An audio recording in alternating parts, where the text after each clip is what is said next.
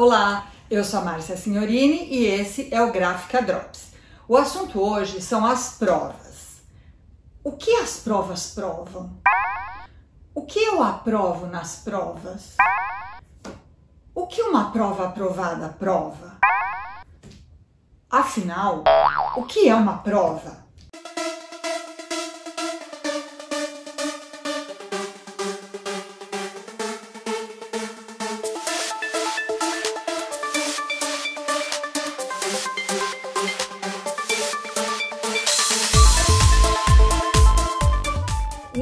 Jurídico, uma prova é aquilo que a gente usa para entender ou para explicar alguma coisa que já aconteceu. Na gráfica é o contrário. A prova é aquilo que permite que a gente anteveja o que vai acontecer ou o que pode acontecer. A prova não é a realidade, ela é uma simulação da realidade. Então, Quanto mais controlado é o processo de prova, menor é o desvio que ele vai apresentar em relação à realidade que ele representa. Resumindo o assunto para caber aqui no vídeo, eu vou falar só de dois tipos de prova: das provas contratuais e das provas de prelo, que, apesar de serem as mais antigas, ainda resistem. Principalmente nos trabalhos que envolvem obras de arte e fotografia, a fidelidade de reprodução é crucial. Então, as cores, as luminosidades, os contrastes, tudo isso na reprodução tem que guardar uma relação de identidade com o original. E a gente não pode deixar para ver isso depois que os 5 mil exemplares da tiragem estão impressos. Então, aí entram as provas contratuais.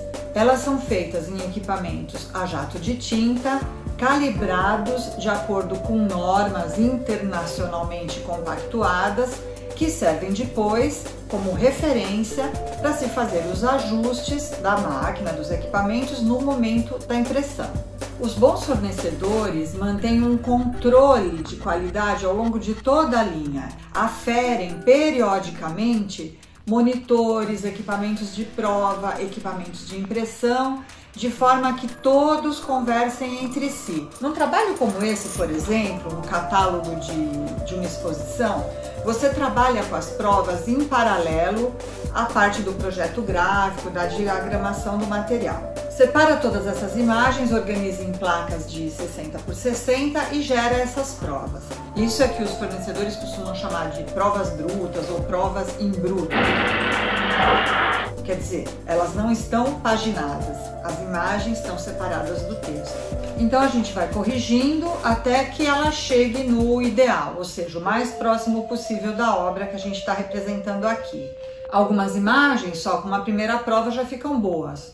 Outras precisam de muitas provas. Essa daqui, por exemplo, passou por três provas e essa ainda não é a final. Uau! Porque as provas finais ficam no fornecedor como registro e documentação do processo. Aqui, por exemplo, nessa prova que não é a última, foi dito que a imagem estava um pouco aberta, que precisava ser um pouco mais fechada. Saiu uma última prova e então na máquina se atingiu o resultado esperado, um pouquinho mais fechado do que estava nessa prova que não era a última. Bom, provas digitais simulam a impressão em quadricromia, cian, magenta, amarelo e preto. Quando a gente vai usar uma cor especial, essa simulação dista muito da realidade. Para entender por que isso acontece, você pode assistir os vídeos que nós fizemos sobre isso aqui no canal. Então, quando a gente usa uma cor especial, muitas vezes a gente tem que lançar mão das antigas provas de prelo, que são provas analógicas e que existem ainda no mercado. O prelo de offset é uma impressora de menor porte então ela usa as chapas de impressão, as tintas, o papel, né, o mesmo papel que você vai usar depois lá na frente. Então poderia parecer que essas provas são é, mais fiéis, mas isso é relativo. Como elas são operadas manualmente, o desvio é mais difícil de ser controlado.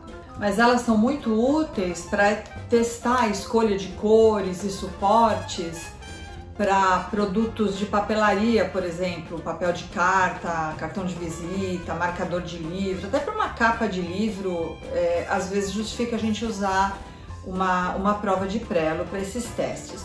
Por exemplo, megafauna havia uma grande variedade de suportes onde essa identidade visual que tem esse laranja terra e o cinza ia ser aplicado. Papel pólen, papel Color Plus, papel adesivo. Então foi necessário fazer uma prova de, de Trello nesses vários suportes para entender como que essa sobreposição da tinta com o suporte ia se comportar.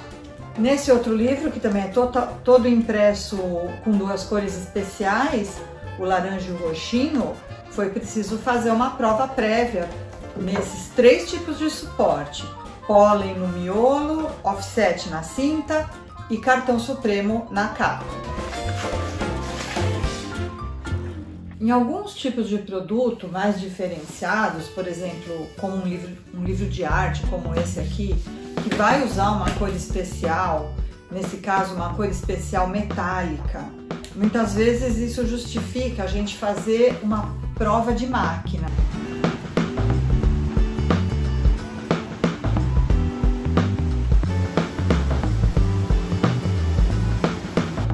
Prova de máquina, aqui tem uma folha inteira é, e que entra na máquina mesmo, numa tiragem curta, mas com todas as condições reproduzidas. Preto, Pantone,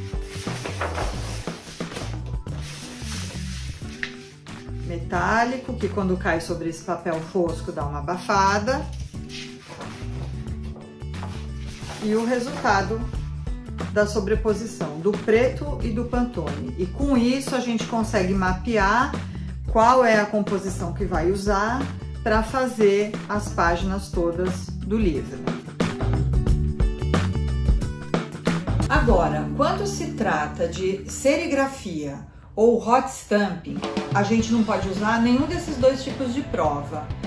Para testar e fazer uma prova prévia, necessariamente a gente tem que produzir a matriz. Então, a tela, no caso da serigrafia, ou o clichê, no caso do hot stamp. Nesse livro, por exemplo, a ideia era ter um papel gofrado, quer dizer, com uma texturinha aplicada nesse Color Plus da capa e depois a serigrafia por cima. E se fez então a matriz de serigrafia e se fez algumas provas do, do resultado. E já se viu na prova que esse gofrado do papel iria criar uma irregularidade nas bordas das letras. Por isso, se optou por não fazer o papel gofrado e sim manter o papel liso para conseguir maior qualidade de reprodução. Mas isso só pôde ser visto com a própria matriz feita e impressa sobre o suporte definitivo. O hot stamping também é um pouco complicado, porque a gente precisa ter o clichê definitivo e o material definitivo em que ele será aplicado. Porque a aderência depende não só do suporte, quanto da cor da fita, do tipo de fita. É, então a gente só sabe mesmo se vai funcionar fazendo um teste, uma prova prévia que implica produzir já o clichê que vai ser usado na tiragem. Bom, espero que tenha ficado provada a importância da prova e por hoje é só. Vou ficando por aqui. Tchau, tchau, até mais!